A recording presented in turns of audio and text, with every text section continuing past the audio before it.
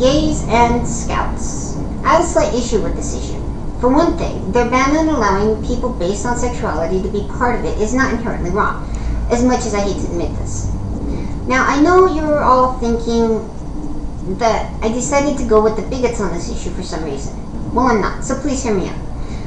Honestly, I don't think it's ethically right for them to ban homosexual people. However, unless they get government funding, it is technically legal to do so. They are a club and not a business, so therefore it's not entirely bound by the same anti-discrimination laws. But my issue with this issue goes a bit more into it. Several problems I have are with the Scout organizations as a whole.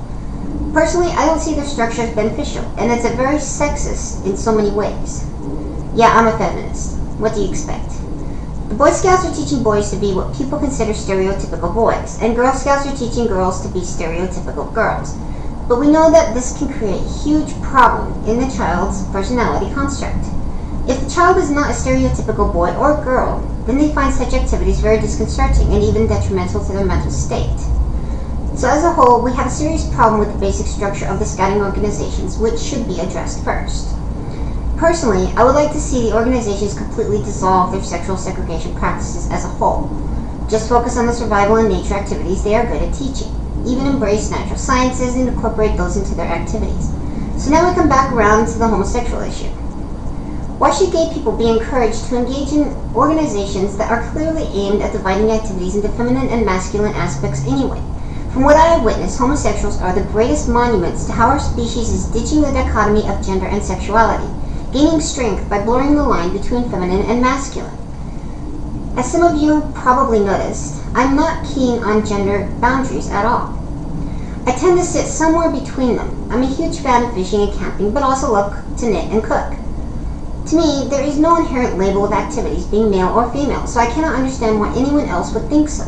In ages before modern technology, even before houses were built, humanity needed to divide chores up based on gender as a survival mode. But we are beyond that now. So what do I propose to solve this? Simple. Start a new organization, one that is not bound by either gender, stereotypes, or sexual identity. Move forward and allow the old and archaic ones that do not wish to evolve to be replaced by more adaptive and stronger groups and organizations. Embrace what capitalism really means. You do have the power to change the future, but only if you are willing to put in the effort and do not fear the change itself. Jump in with both feet and start up a new and better organization instead of spending resources to fight battles that will take decades. Sometimes it is better to build anew instead of remodel what has stood for ages.